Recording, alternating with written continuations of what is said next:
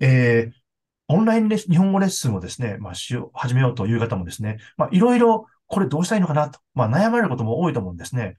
はい。そこで、今回第5回はですね、まあ、どうする、えー、授業準備、英語ができない、ネットツールが苦手、このまあ、三大、の、悩みといいますかですね、について、えー、オンライン日本語レッスンコーチ講座のあきこ先生にお話を伺いたいと思います。えー、皆さん、はじめまして、篠県の篠でございます。えー、今回もですね、えー、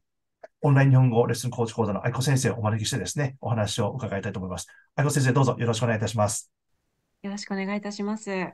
ではですね、えー、その、おまあ、対処法ですけども、まあ、一つは、まあ、授業準備をどうしたらいいのか。二つ目が、英語ができない、どうしたらいいのか。三つ目が、ネットツールが苦手でどうしたらいいのか。ということなんですけど、まずその最一番目ですね。授業準備ですね、どうしたらいいのかっていうことなんですけど、これ、あの、えっ、ー、と、あきこ先生、えっと、週60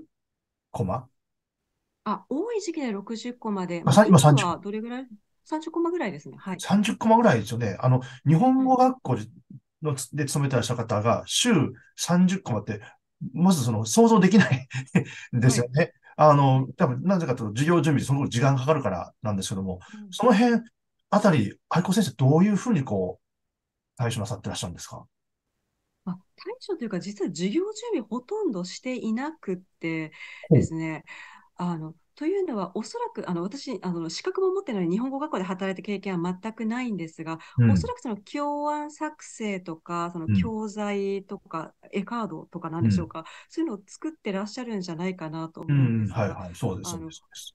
オンラインレッスンでそれが求められる機会っていうのは、ほとほとんどないというか、実、もう今まで5000レッスン以上教えたんですが、なかったですね。で、あの、その、あんまり何か手作りのものを使うというよりは、あの私は生徒のレベルに合わせて教科書を1冊選んで、もう最初からきれいにやっていくということがほとんどです。で、あの初心者から中級者に関してはそうですね。で、あのそうするとあの、実は喜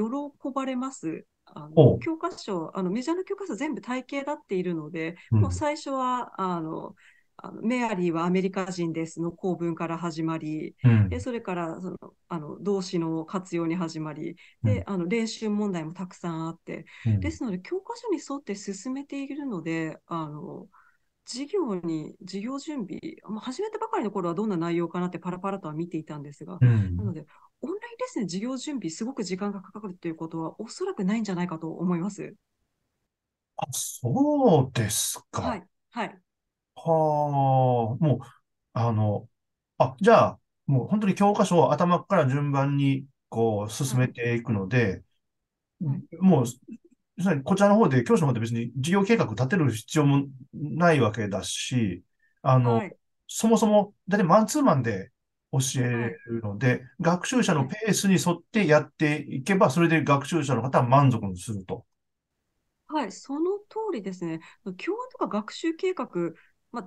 だ誰に見せるのかっていうあの 問題なんですが、多分あの求められてないので必要ないと思います。うん、うん、ああ、それはちょっと、あの、目から鱗と言いますか、逆に言うと今までね、教案作って、その、事業計画立てて、で、いろんな絵カードとか文字カードとか作ってたのが一体何だったのかっていうことですよね。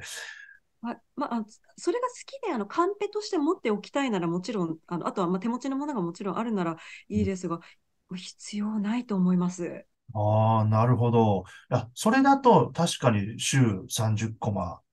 もう、まあ、コマ数はともかく、あの、あの増やそうと思えば増やせられますし、そのまま時間が、なんて言いますかね、あの、現金に変わると言いますか、今までは事業準備は、その、えなんていうかな、えっ、ー、と、講師料に入ってこなかったんでですね、あ、それはすごく効率的ですよね、講師にとっても。はい、そうですね。もう3年半教えていて、その準備とかに時間取られたっていうっていうことはほとんどないので、あまりただ働きしたことはないですね。素晴らしい、素晴らしい。ありがとうございました。はい。じゃあ、二つ目ですね。今度あの、やっぱり英語ができないで、まあ、オンライン日本語レッスンちょっとどうしようかなっていうふうに迷われてる方もいらっしゃると思うんですね。で、その辺はいかがですか？はい、そうですね。あの、英語なり他の媒介語なり、あの、できないよりできた方がいいとは思うんですが、うんうん、えっ、と、ま、まず、あの、英語、英語っと言いますが、その英語のネイティブスピーカーってそんなに多くないので、仮にレッスンで英語を使うとしても、向こうはあのこちらと同じ第二外国語として英語を学んだ人たちなので、そこまであの高度な会話をする必要はないです。であのそもそも皆さん日本語を習いに来てるので、別にこちら完璧な英語を話す必要もないです。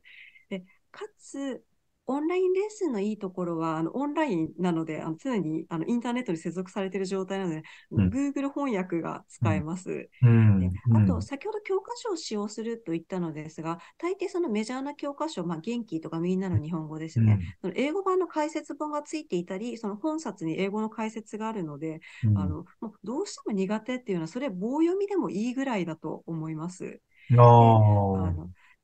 あと、あの、板書を使うという点もあって、あの、板書はどんな形でもいいです。オンラインのホワイトボードでもいいですし、うん、Google ドキュメント作ってシェアしてもいいですし、うん、あと、あの、スクリーンシェアで何か、あの、うん、ノートパッドみたいなの見せてもいいと思います。で、伝わらなかったらそこにひらがなで日本語を打って横にそのデスクって書いて机って書いて、あの、置くっていう点もありますし、あの、いくらでも対処法はあります。で、ただ、英語そこそこ喋るのって多分トライアルレッスンと最初の1、2回のレッスンで、それからはどんどんあの繰り返してください。ここを読んでください。問題を読んで答えてくださいって、もう徹底的にそのレッスンで使う言葉って日本語で繰り返すので、うん、あのそうですね、あの初心者の方でももう5、6回目のレッスンからもう英語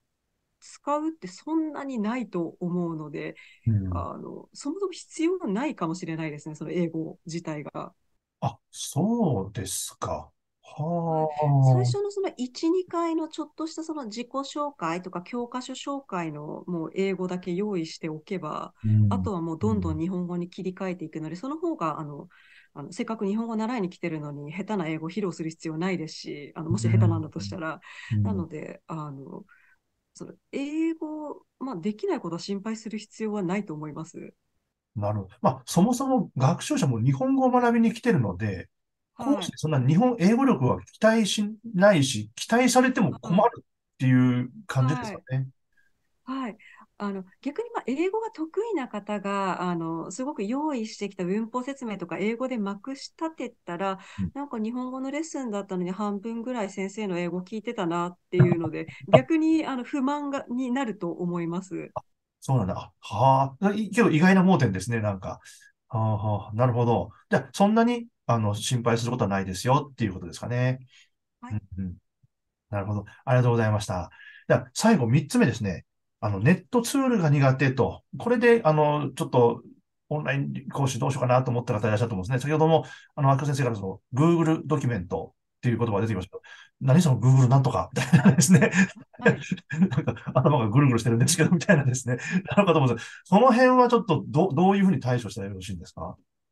はい、あの Google ドキュメントの話にあの話を戻すと、なんか私もあの板書を Google ドキュメントでしてほしいって言われて、うん、あしてほしいって言われたっていうか、何かのリンクがポンって送られてきて、うん、板書はこれに入れてくださいって言われて、それが Google ドキュメントというものだったんですが、うん、あの簡単に言うと、ワードファイルであの双方向から編集ができるワードファイルってそれだけだったんですけど、なので、あのまあ、板書として使いやすいですし、あのどんどんあの積みか毎回そのそのファイルを毎回レッスンで使うので、うん、あの説明のポイントとかがたまっていくという仕組みのものだったんですが、うん、あのまあのオンラインレッスンで求められるそのネットツールってそんなに多くなくてあの、ま例えば Zoom でレッスンをするのであれば Zoom の招待状の作成方法、うん、あとはあの結構画面共有する機会があるので画面共有スクリーンシェアの方法、まあ、方法というかあのボタンピッて押すだけなので、あの で、あの、あその Google ドキュメントも、あの、Gmail のアカウント持ってる方だったら誰でも作れます。で、あの、万が一何かわからない。私もなんか Google ドキュメントって何とか、その Zoom って、あの参加したことはあるけど、どうやって人招待するのって思ったんですが、あの、私が疑問に思っていることは世の中の人も疑問に思っているので、あの、 Zoom 招待方法って、あの、Google の検索画面に入れると、すごく丁寧な、あの、もう絵付きで説明が出てくるので、あの、何か困ったことがあったら、あの、Google 検索したら大抵の答えは見つかります。私もそのテクノロジーとかインターネットツールってどちらかというと苦手な方なんですが、うん。あの、まあ、最初ちょっと手間取っ、戸惑った手間取ったこうんとはあっても、もうその後そんなに苦労していないので、うあのん誰でもできます。誰でも使えるようにできています。うーん、なるほど。あの、あれですよね。あの、今度、篠研で、あの、行います、まあ、えっと、あきこ先生のオンライン日本語レッスン構築講座でも、まあ、あの、もしそういった疑問といいますか、このツールの使い方どうやってやったらいいんですかみたいなのがあったときには、まあ、自由に、あの、質問しして、させていただくこともできるわけですよね。あ、はい、そうですね。講座の中では、えーとまあ、人数によるんですが、そのうん講座中にあのどんどん手を挙げて聞いていただいてもいいですし、うん講座が始まったら質問箱というものを設けるので、そこにどんどん、あの、くだらないって思わずに、あの、さっきも言いますが、あの、あなたが疑問に思っていることはきっと他の人も疑問に思っていますっていう気持ちで、どんどんその疑問点を集めていって、あの、あの誰にでもわかるように、あの、みんなで解決していけたらと思っております。うん。ありがとうございました。えー今回はですね、えー第5回ということで、えーどうする？授業準備。それから、英語ができない。ね、えネットツールが苦手という方向けてのですね、いろんな対処法をご紹介させていただきました。愛子先生、どうもありがとうございました。ありがとうございました。